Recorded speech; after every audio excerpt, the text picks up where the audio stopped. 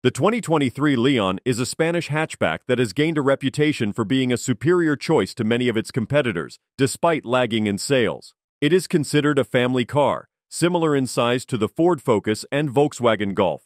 The model offers a variety of powertrain options, including mild hybrid and plug-in hybrid engines, but does not come in an all-electric variant. The PHEV option, known as the e-hybrid, couples a 1.4-liter petrol engine with an electric motor, providing an electric-only range of 40 miles.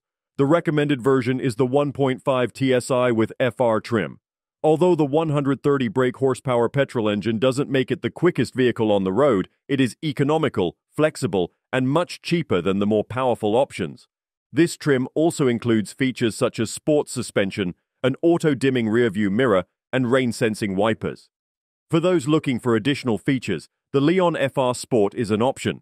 It includes larger alloy wheels, a full LED light bar at the back, a heated steering wheel and front seats, electric driver's seat adjustment, and suede upholstery. The Leon also boasts a solid infotainment system. Entry-level SE trim versions come with an 8.3-inch touchscreen, DAB radio, a 7-speaker sound system, and smartphone mirroring capabilities.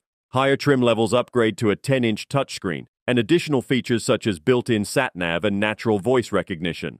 Practicality is another strong point, with most versions offering 380 liters of boot space, enough for six carry-on suitcases. However, this decreases by around 100 liters if you opt for the PHEV engine.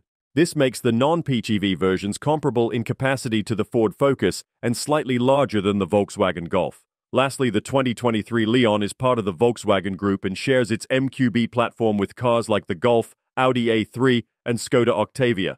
This shared platform helps to reduce development costs, while also allowing each model to maintain unique characteristics. Prices for the 2023 model start from £22,225 for the entry-level petrol, rising to £29,195 for the mild hybrid and £34,305 for the plug-in version, with a total of six individual trims to choose from.